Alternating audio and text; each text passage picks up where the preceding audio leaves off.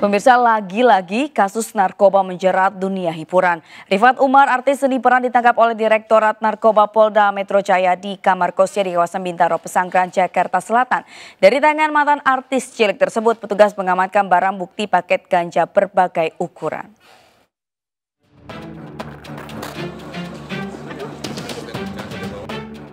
Bersama dua rekannya, Tessa Nur Alia dan Rizky Ramadan, artis seni peran Rifat Umar diamankan oleh Direktorat Narkoba Polda Metro Jaya di kawasan Bintaro, Pesanggerahan, Jakarta Selatan, Rabu lalu karena kepemilikan ganja.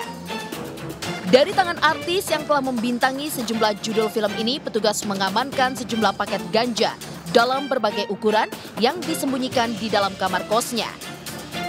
Menurut Kepala Bidang Hubungan Masyarakat Polda Metro Jaya, dari hasil tes urin, Rifat Sungkar dan dua rekan lainnya telah dinyatakan positif menggunakan ganja.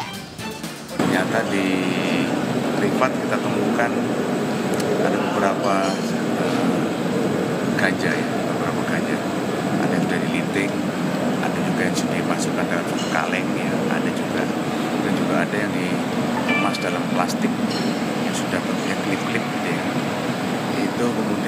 ada yang dikemas di kertas, kertas ada. Kini, ketiganya masih menjalani pemeriksaan intensif oleh penyidik Direktorat Narkoba Polda Metro Jaya.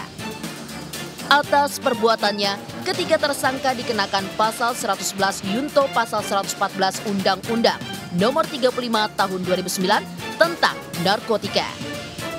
Dari Jakarta Selatan, Dan Helmi Sajangbati, iNews melaporkan.